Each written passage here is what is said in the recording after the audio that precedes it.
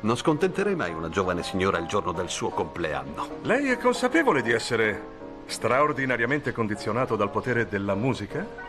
Non lo siamo tutti? Beh, certo, in una certa misura sì. Intende star qui tutto il giorno a farmi perdere tempo? No, anzi, stavo andando. Allora quella è la porta. Mi dica, lei è sensibile a qualcos'altro oltre che ai compleanni? I compleanni, un'insulsa perdita di tempo e di denaro. Straordinario.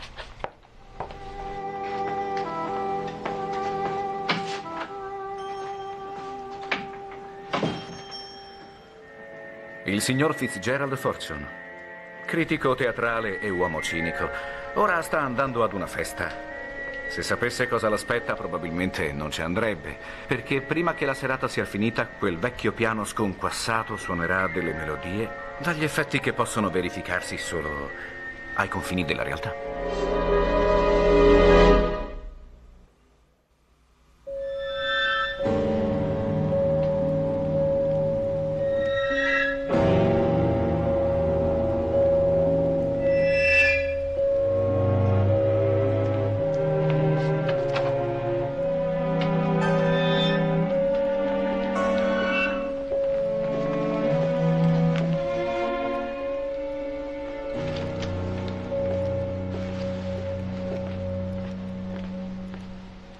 Buonasera, signore.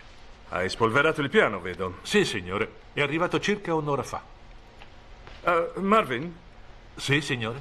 se stasera dovessi provvedere al servizio, potresti fare qualcosa per la tua faccia. La mia faccia? Una festa è un'occasione gioiosa, quindi potresti cercare di apparire meno infelice del solito? Farò del mio meglio, signore.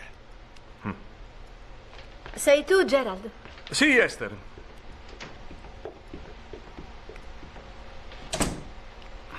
Ciao, caro.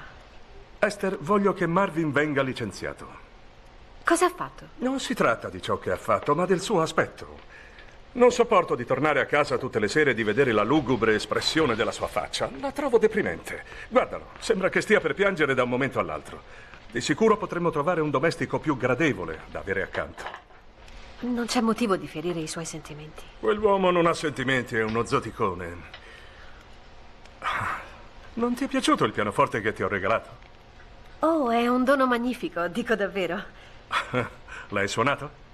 Non sapevo come fare, così ho deciso di aspettare che tu rientrassi a casa. Hai visto? Mi sono ricordato che volevi suonare il pianoforte.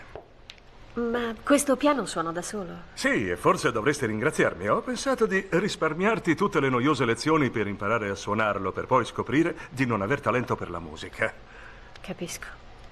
Allora, cara, non mi ringrazi per il regalo che ti ho fatto? Non ne sei un po' commossa?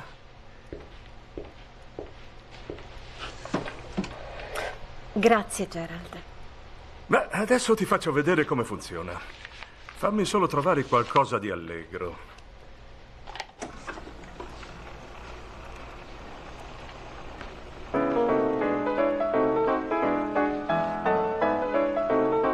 Grazie, Marvin. Cosa diavolo ti sta succedendo?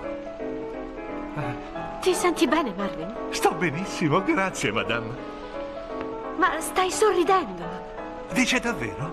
Assolutamente. Beh, probabilmente perché sono felice, signore.